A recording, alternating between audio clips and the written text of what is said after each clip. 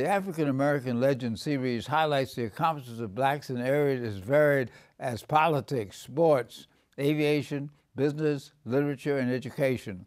We'll explore how African Americans have succeeded in areas where they've been previously excluded because of segregation, racism, and lack of opportunity.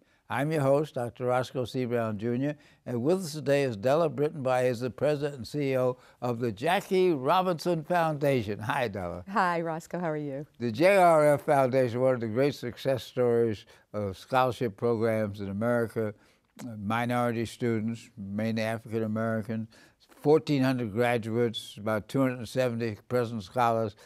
What do you account for your success? Why is this program so successful? Well, you know, I, will throw in a plug here and tell you that the New York Times described us uh, about a year ago as uh, um, maybe, quote, maybe one of the best educational efforts in the country.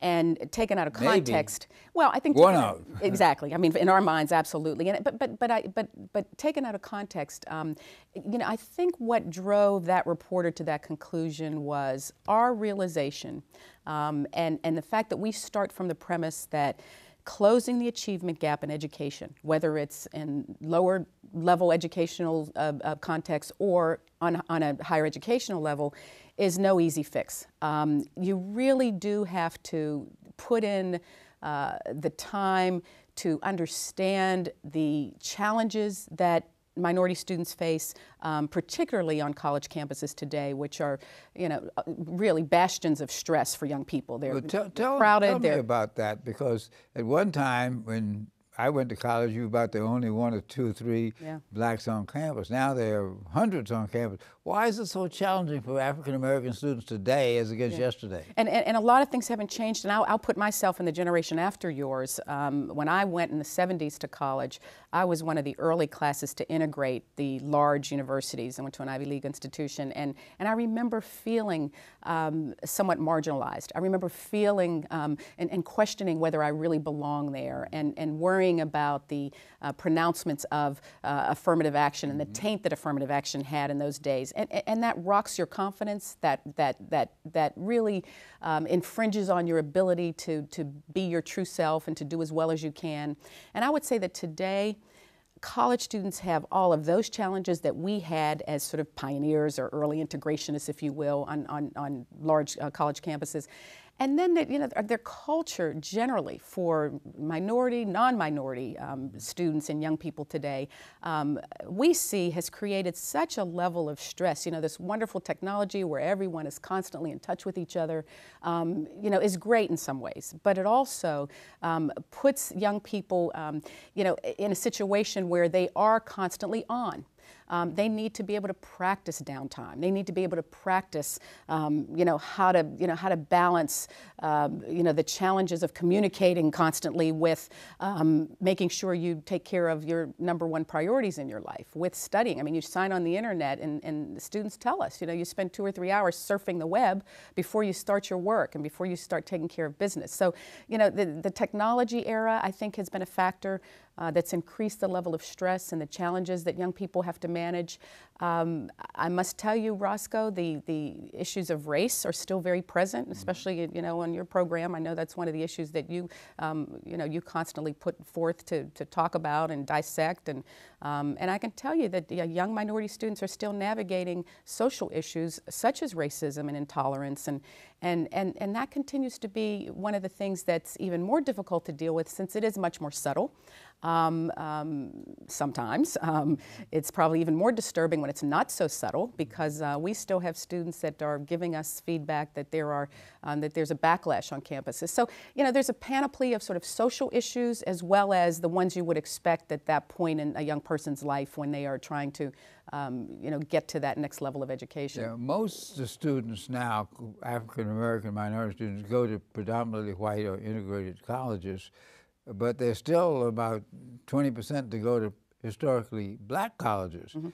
Do you think those students at the historical black colleges face the same stresses as those at integrated colleges?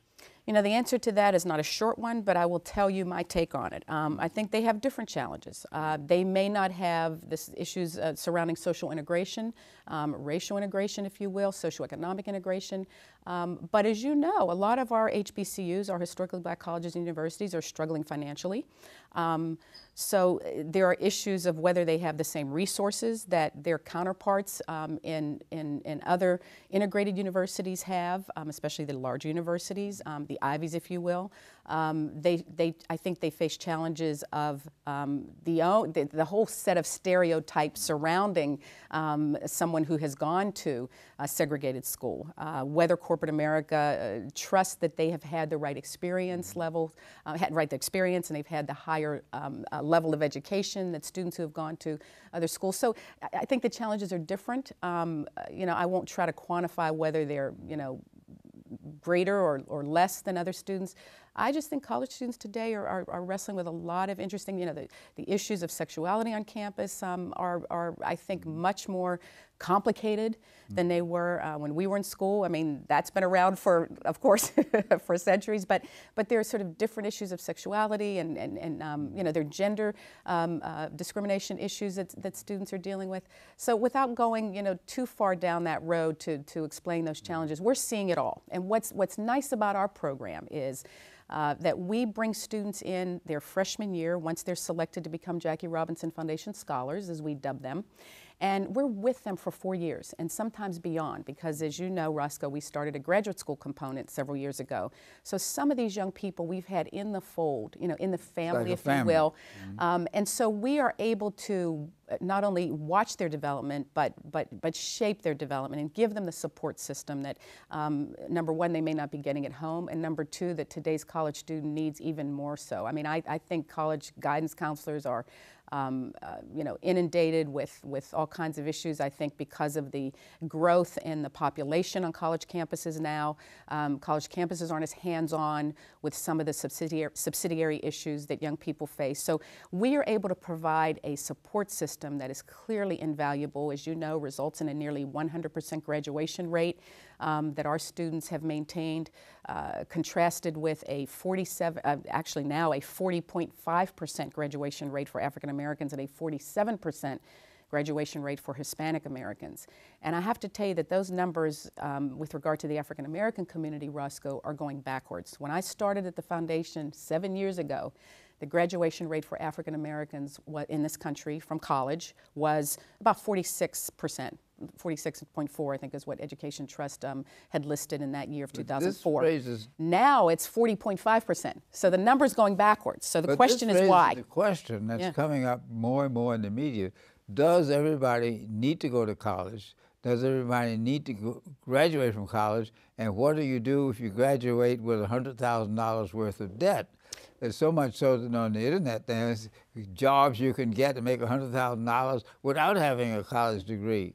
So Absolutely. that factors into these diminishing graduation rates, and it turns out the males graduate at a lower rate than females mm-hmm. from college. Mm-hmm. What does this say That's not about the whole story, our though. society? Well, but it's not the whole story either, because um, and, and, this again, I'm, I hate to say it, and it's the same you know same thing we know at the foundation. These issues are not easy; they're complicated, mm-hmm. and and on the financial point, sure, that's a factor, Roscoe. But the reality is, more money is being put um, into college scholarships now than ever before in the history of this country mm-hmm. um, through the Pell Grants, and as you know, our current president has increased, um, in fact, almost doubled He's probably going to be cutting back this year with the, you know, with the appropriations bills that are in trouble on the Hill now um, in the new Congress. But, um, but President Obama had, had almost doubled the number of dollars that the Pell Grants, which is the primary support um, for college scholarships in this country, aside from the scholarships that colleges and universities give private scholarships like the ones we give, the ones the mm-hmm. Mellon Foundation gives, the Gates Foundation gives, everything other than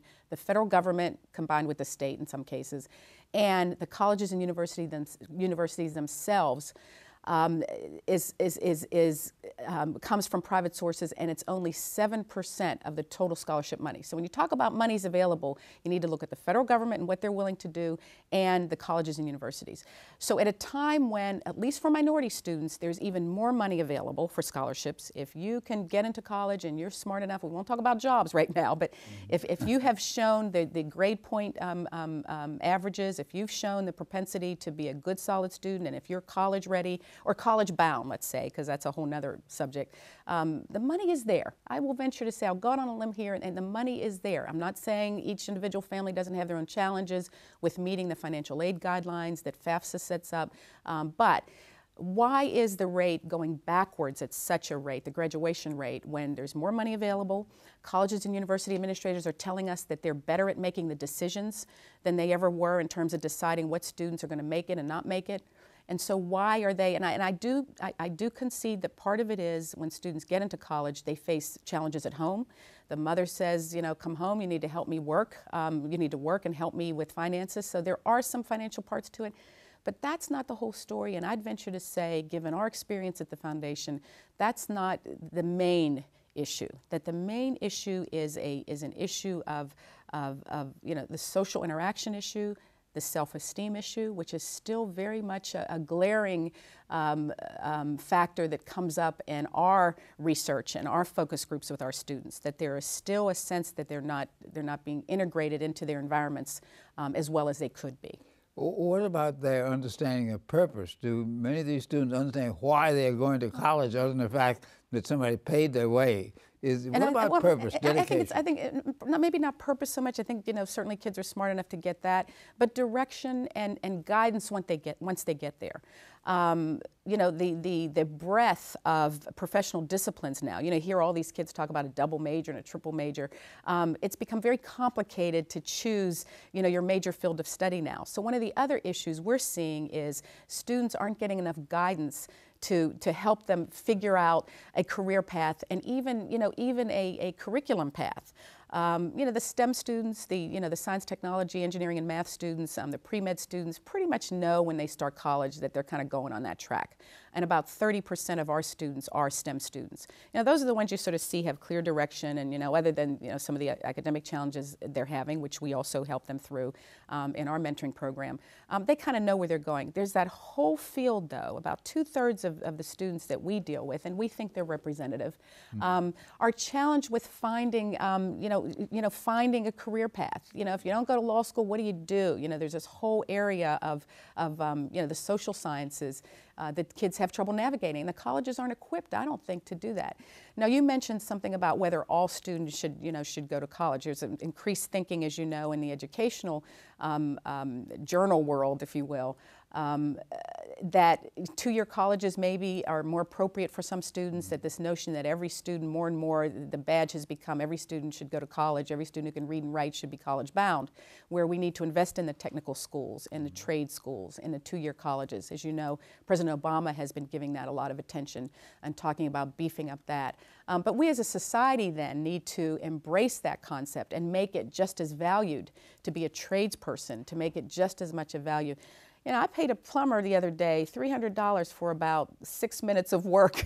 I don't have many lawyer friends uh, who, who um, you know, get $300 for six minutes. Uh, I'm oversimplifying that, of course. But, but, you know, we need to value all elements of our society. Um, and, and I think that's something that, um, you know, also figures into uh, challenges that students sort of feel this you know compulsion to to get through four-year college and maybe you're right some should not be uh, counseled to do that. But the kids that we have in our program are clearly well, top, you know, four-year track, you know, college graduate uh, um, material. Well, let's talk about what you do on the networking weekend where you bring all these students together in New York City once a year. Uh, what happens at the network weekend and why is that probably one of the pivotal activities of the Jackie Robinson Foundation?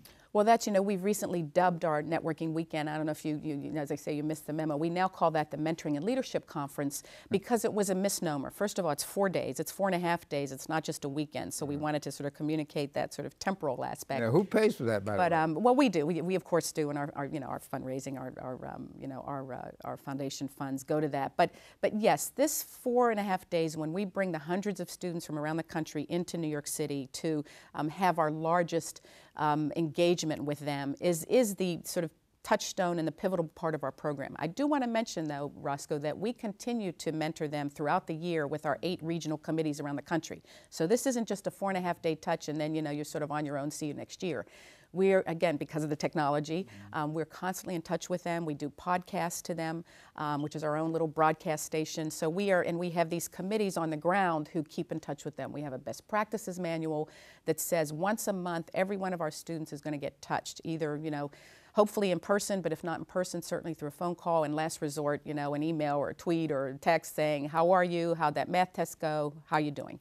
Um, but that four and a half day weekend gives us our, you know, our biggest um, um, ability to expose them to some 80 different professionals in different disciplines. You know, we have career panels where they can come and ask, you know, tough questions. Um, and we say to them, don't come and ask information. When you get, you know, uh, the, U.S. attorney or, you know, a United States uh, uh, um, attorney to, uh, and, a, and, a, and, a, head of a civil rights, Mark Morial from the National Urban League was on one of our panels. You know, when you get people of that ilk in front of you, don't ask questions that you can get the answers to on the internet. Don't ask, um, or, you know, bankers, don't ask how many employees does Goldman Sachs have. You want to ask, what's the culture at Goldman Sachs? What is an investment bank banker versus a merchant banker? You know, try to get, you know, a real sense of those things that you may not be able to get at home or through your own support system. So we have career panels. We also have a practical life um, skills um, aspect to our mentoring, which is, you know, teaching these bright, young, motivated people, um, you know, the sort of social elements that will boost their self-esteem you know, um, public speaking, conflict resolution, uh, how to eat in a four-star restaurant, um, uh, you know, things that, you know, may throw them off their game if they're not familiar with an environment. Uh, we take them, during their four years with us, we take them to a cultural event during that weekend. One year it's a ballet, the next year it's a Broadway play, the next year it's jazz at Lincoln Center, and the next year it's an opera. So we're exposing them culturally. We take them to the Metropolitan Museum of Art. Why do you visit museums? Because it broadens your horizons. It expands your sense of creativity. You know, we are trying to build out, you know, Renaissance people, you know, the full breadth of, you know, what is successful and indeed a leader, um, the skills a leader needs to have in his or her toolbox to do well.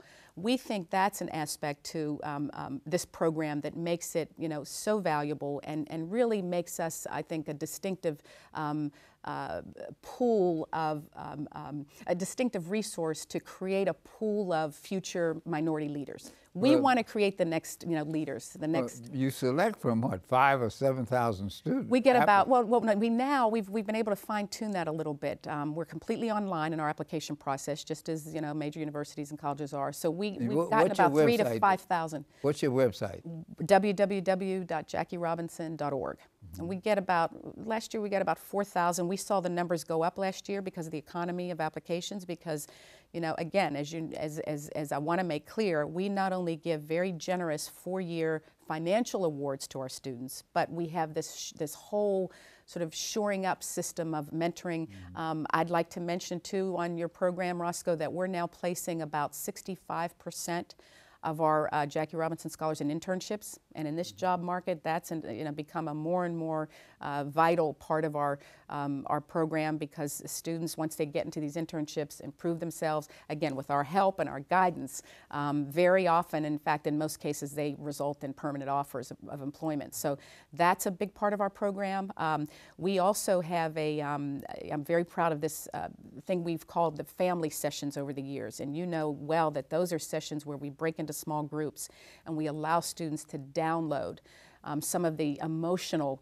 um, aspects, these, some of these social aspects, and that's where a lot of this comes out, where they say to us they do feel marginalized on campuses. Um, um, they, they are still feeling like they are not, um, you know, quite, you know, part of their environments. And so we give them strategies for how to do that. We say, you know, read the bulletin boards, join clubs, go beyond your comfort zone, and don't just self-segregate and only associate with the black students. You know, make sure you get to know um, students from all walks of life. You've been, you've been given this wonderful opportunity to, to, to uh, be around other smart young people who are going to be running the world with you. Um, get to know them. So this is a, you know, again, there's no quick fix. This is a comprehensive program. Um, you know, we're at a point now, Roscoe, where we are trying to, uh, coming upon 40 years um, doing this. The, the Jackie Robinson Foundation is now poised to codify what we've learned. And I think we're uniquely positioned because we are an organization with people like me who know what these students are going through, because I went through it 30 odd years ago when I was in college. Um, we're uniquely poised to take what we've learned, to codify these strategies for success and make them more broadly available to minority students uh, who are not Jackie Robinson scholars. So we can only take a few hundred students um, and bring them into the fold and give them this hands-on mentoring. But what we want to do is take as much of what we know has helped these students, put it online, um, you know, stream, which is, you know, broadcast, if you will, um, our seminars that happen during that four and a half um, day um, conference every year and, and, and put it out on the internet so that other minority students and other college campuses. So this is a whole new part of our program that we're excited about. And we need funding for, so. If someone wanted to see one of these podcasts, they would go to your website and you have them on the website? Well, they, you have to have a code. You have to have, you can't just, you know, you, you have to be. How do you get the code?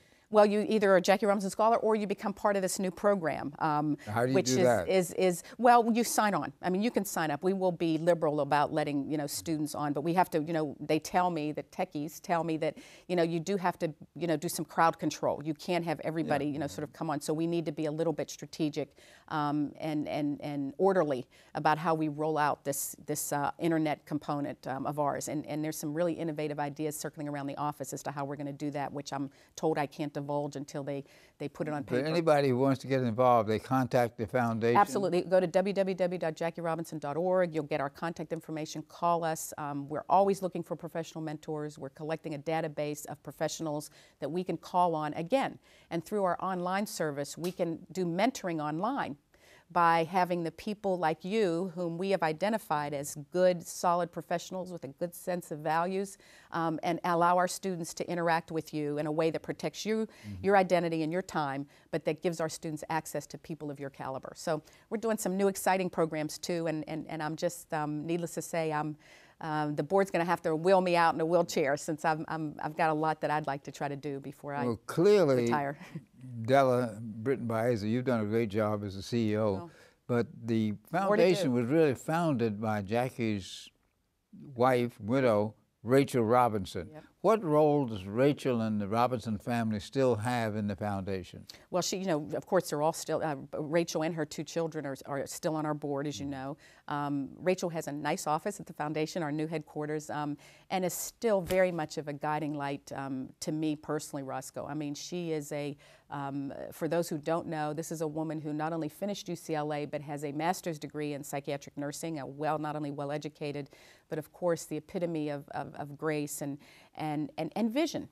I mean, you know, when she started this organization 39 years ago, it was her vision that it wasn't enough to just give financial assistance to um, minority students, you know, black uh, uh, students at the time, which was their focus, um, but that, that we had to give them these strategies for success. We had to get them through college. Mm -hmm. um, we had to give them the support system, especially as these universities were becoming more and more integrated. It was the 70s when she started it, which was when I, when I was in college.